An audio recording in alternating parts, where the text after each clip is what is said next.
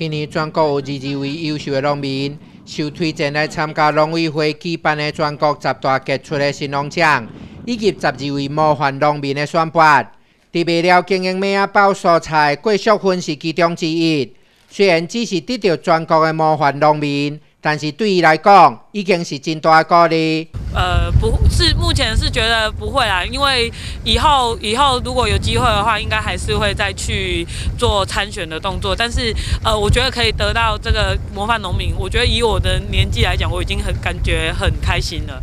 农民桂小芬讲，虽然你大学所读的是财务金融科系，跟农业财政无关系，不过伊将农业来结合专点，为小农来创造农业环境以及销售的平台。并且引进外国生产管理技术，拍开国际市场。因因为我本身以前是念那个财务金融的，所以我自己比较强项的部分是在于那个经营管理，还有我们一些行销的部分。那因为我们的农户都很小户，变成说他们没有办法去跟国外做一些推销的能力。那我们就是集合这些小农来配合我们的管理农模式，然后去跟到国外去做展售的动作。为了面包的产业。由伊的父亲拍下基础，然后第二代农民郭少芬开展国际市场。